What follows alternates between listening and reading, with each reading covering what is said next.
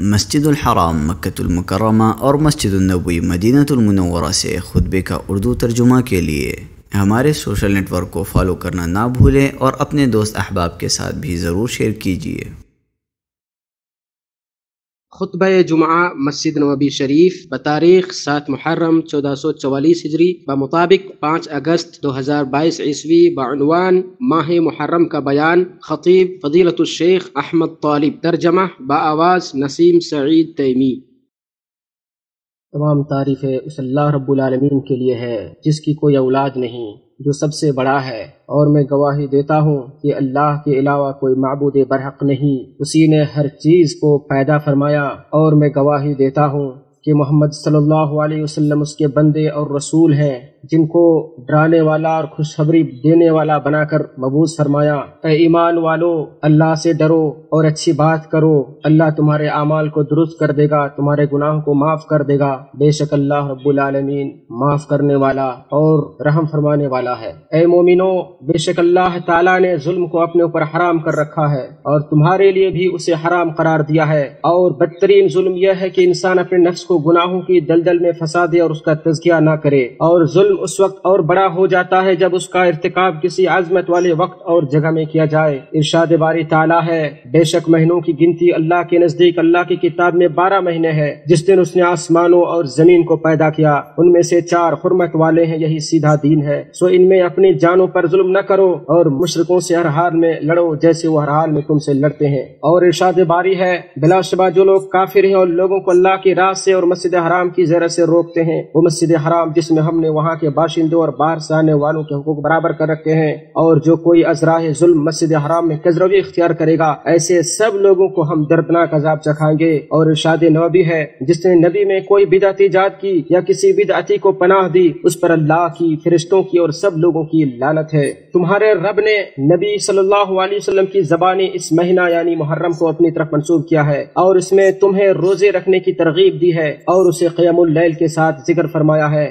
आप सल्लल्लाहु अलैहि वसल्लम ने फरमाया, माह रमज़ान के बाद सबसे अफजल रोज़े अल्लाह किस महीने के रोज़े हैं, जिसे तुम मुहर्रम कहते हो, और फ़र्ज़ नमाज़ के बाद सबसे अफजल नमाज़ कयामुल्लैल है। इस हदीस में माह मुहर्रम की नस्बत अल्लाह ताला की तरफ़ की गई है, जो कि उसके फजलो शरफ की दलील है, क्योंकि अल्लाह ताला सिर्फ़ अपनी खास खास मखलूकत की ही नस्बत अपनी तरफ़ करता है। तो इसी मुनासिबत से उसने इस महीने में रोज़े को मशरू किया है, क्योंकि रोज़े की नस्बत भी अल्लाह ने अपनी तरफ़ की है। जैसा की हदीस कुदसी में है, बनी आदम का हर अमल उसके लिए है, सिवाय रोजा के, रोजा मेरे लिए है, और मैं ही उसका बदला दूँगा। उसने मेरी ही वजह से अपनी शहवत और खाने पीने को तर्क किया है। आप सल्लल्लाहु अलैहि वसल्लम ने अबू उमामा रज़ी अल्लाह को वसीयत करते हुए फरमाया, रोज़े रखा करो, क्योंकि फजलो शरफ में कोई अमल उसके बराबर नहीं है। रोजा इंसान को जन्म से बचाने वाली एक ढाल है, जिस तरह तुम्हारे पास दुश्मनों के वार से बचने के लिए ढाल होती है। चुनानचे उस शख्स के लिए खुशखबरी है, जो अपने आप को भूखा रखता है ताकि रोज़े क्यामत से कम शेर हो सके और जो अपने आप को प्यासा रखता है ताकि रोज़े क्यामत से कम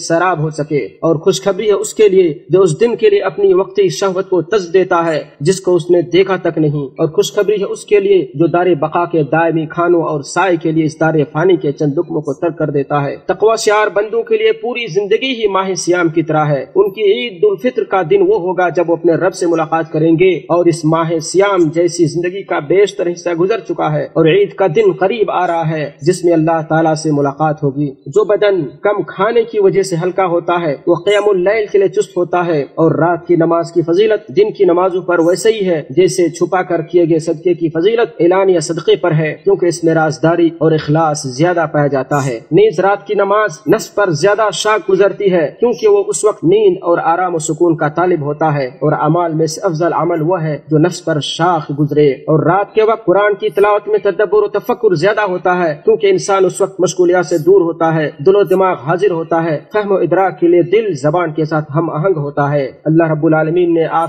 को मुखातब करते फरमाया एक कपड़ों में लिपटने वाले, रात में खड़े हो जा मगर कम, आधी रात या उससे भी कुछ कम कर ले, या उस पर बढ़ा दे, और कुरान ठहर ठहर कर पढ़ा कर यकीन हम तुझ पर बहुत भारी बात अनकरीब नाजिल करेंगे। बेशक रात का उठना दिल जमी के लिए इंतहाई मुनासिब है, और बात को बिल्कुल दुरुस्त कर देने वाला है यकीनन तुझे दिन में बहुत शुगल रहता है। तू अपने रब के नाम का ज़िक्र किया कर और तमाम मखलूक से कट कर उसकी तरफ़ मुतवजे हो जा। रात के आखिरी पहर कहार जब्बार का नजूल होता है इस्तफार की आवाज़ें गूंजती हैं, आसमान के दरवाजे खुलते हैं, दुआएँ कबूल होती हैं और रब्बुल आलमीन के पास हाजतमंदों की हाजतें पेश होती हैं। इसमें इबादत करने वाले अपने अमाल को छुपाते हैं तो अल्लाह भी उनके अमाल के बदले को छुपाता है। इरशाद बारी ताला है, उनकी करवटें अपने बिस्तरों से अलग रहती हैं, अपने रब को खौफ और उम्मीद के साथ पुकारते हैं और जो कुछ हमने उन्हें दे रखा है वो खर्च करते हैं। कोई नफ्स नहीं जानता जो कुछ हमने उनकी आँखों की ठंडक उनके लिए पोशीदा कर रखी है। जो कुछ करते थे, ये उसका बदला है। जो लोग सिद्ध के दिल से रात को जाग कर इबादत करने वाले हैं, वही हकीकी इल्म है, इरशाद बारी है। क्या ये बेहतर है? या वो शख्स जो रात की घड़ियों में सजदा करते हुए और क्याम करते हुए इबादत करता है, आखिरत से डरता है, अपने रब की रहमत को उम्मीद रखता है। कह दे, क्या बराबर है वह लोग जो जानते हैं और जो नहीं जानते? और आप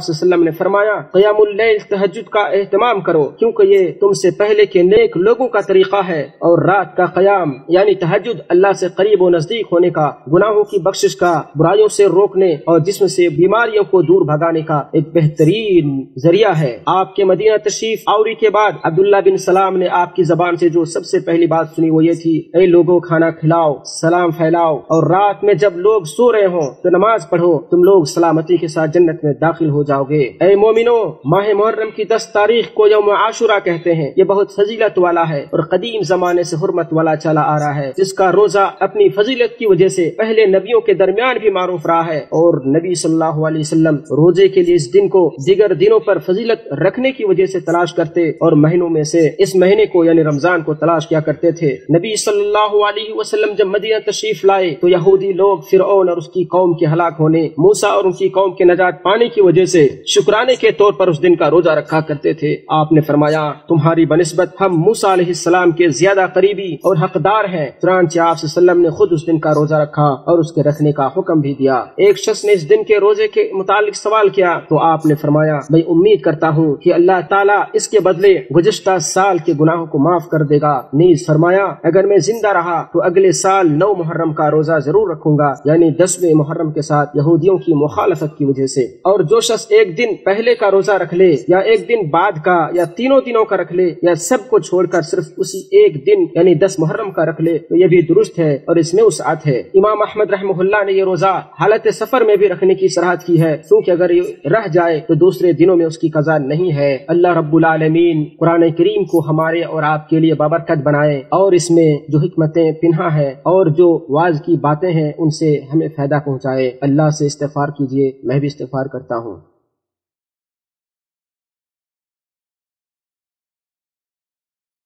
तमाम तारीफें अल्लाह रब्बुल आलमीन के लिए हैं। बहुत ज़्यादा तारीफें और दुरुदो सलाम नाजिल हो। मोहम्मद बिन अब्दुल्ला रसूल उम्मी सल्लल्लाहु अलैहि वसल्लम पर। ए ईमान वालो, अल्लाह से डरो और नेक और सच बोलने वालों के साथ रहो। ए मोमिनो, उमर बिन अब्दुल अज़ीज़ ने मुख्तलि बिलाद की तरफ़ एक मकतूब रवाना फरमाया, जिसमें उन्होंने कहा, तुम भी उसी तरह दुआ करो, जिस तरह तुम्हारे बाप आदम ने की। ए हमारे रब, हमने अपनी जानों पर ज्यादती की, और अगर तूने हमारी मगफरत न फरमाई और हम पर रहम न फरमाया तो ज़रूर हम नुकसान उठाने वालों में से हो जाएँगे। तुम भी उसी तरह कहो, जैसे नूह अलैहिस्सलाम ने कहा ए अल्लाह, अगर तूने मेरी मगफरत न फरमाई और मुझ पर रहम न किया तो मैं भी खसारा उठाने वालों में हो जाऊँगा। इसी तरह कहो, जिस तरह मूसा ने कहा ए परवरदिगार, मैंने अपने आप पर जुल्म किया है, लिहाजा मुझे बख्श दे। तुम वैसे ही फरियाद करो, जैसे मछली वाले नबी यूनुस ने फरियाद की। तेरे सिवा कोई मबूद बरहक नहीं, तेरी जात पाक है, बेशक मैं ही कसूवार हूँ। क्योंकि गुनहगार का, अपने गुनाह का इकरार उस पर नदामत के इजहार बारगाह इलाही में मकबूल तोबा है। नबी सल्लल्लाहु अलैहि वसल्लम ने शाद फरमाया, जब बंदा अपने गुनाह का एतराफ कर लेता है, फिर तोबा करता है तो अल्लाह भी उसकी तोबा कबूल फरमाता है। इबलीस अपने गुरूर और खुद पसंदी की वजह से हलाक हुआ। उसने कहा था, मैं आदम से बेहतर हूँ, और उसके बरक्स अपनी गलती के एतराफ की वजह से आदम कामिल तरीन फजाइल से बराबर हो गए। उन्होंने फरमाया था अरे हमारे रब, हमने नफ्स पर जुल्म किया है। इबलीस ने जब जब आदम के लिए हसद की आग भड़काई, आदम के बदन से निकलती खुशबू ने उसे मुंतशिर कर डाला और इबलीस जल भुन कर रह गया। लिहाजा इस दुश्मन से खूब होशियार रहो, जिसने तुम्हारे बाप को जन्नत से निकाला है। और खूब चौकन्ना रहो। ए ईमान वालो, अल्लाह और फरिश्ते मोहम्मद वसल्लम पर रहमत नाजिल फरमाते हैं। दुरूद पढ़ते हैं तुम भी ए ईमान वालो, उन पर दुरूद सलाम भेजो। ए अल्लाह, हिदायत याफ्ता इम्मा अबू बकर, उमर, उस्मान, अली और दिगर तमाम साहब कराम से राज़ी हो जा और हमें उनसे राज़ी कर दे। ए अल्लाह, इस्लाम और मुसलमानों को गलबा अता फरमा। ए अल्लाह, शिरक और मुशरकों को जलील और फरमा। ए अल्लाह, मिल्लत और दीन के दुश्मनों को जलील फरमा ए अल्लाह, हमारे इमाम और हमारे हुक्काम को हिदायत अता फरमा। ए अल्लाह, हमारे हुक्मरा को तू अपनी रजा के लिए काम करने की तोफीक अता फरमा। ए अल्लाह, हमारे हुक्मरा को ऐसे मुशीरकार और रुफका और साथी फराम फरमा, जो उन्हें खैर की रहनुमाई करे और खैर की दावत दे। ए अल्लाह, हमारे हुक्मराओं के हाथों को खैर की तरफ़ पकड़ कर खैर की तरफ़ ले जा। ए अल्लाह, उन्हें कुरान और सुन्नत के मुताबिक ज़िंदगी गुजारने की तोफीक अता फरमा। ए अल्लाह मुसलमानों के अंदर इतिहाद इत्तेफाक पैदा फरमा। ए अल्लाह, हर जगह के मुसलमानों के अहवाल को दुरुस्त फरमा। ए अल्लाह, तमाम मुसलमानों को सुन्नत पर जमा फरमा और उनके हुक्मरा को आमिल बिल किताब सुन्नत बना। उनके हुक्मरा ऐसे लोगों को बना जो उन पर रहम करे। ए अल्लाह, सरहदों पर मुल्क की हिफाजत करने वाले लोगों की हिफाजत फरमा। उनकी मदद फरमा। उनके अजायम को मज़बूत फरमा और उनको साबित कदम रख। ए अल्लाह, हमारे गुनाहों को माफ़ कर दे। हमारे गुनाहों पर पर्दा डाल दे। हमारे मरीजों को, बीमारों को शिफाता फरमा। अल्लाह, हमने अपने ऊपर जुल्म किया है। अगर तू हमें माफ़ ना करे, अगर तू हमारी मगफरत ना करे तो कोई माफ़ नहीं कर सकता। अल्लाह, दुनिया आखिरत में हमें हर तरह की भलाई अता फरमा।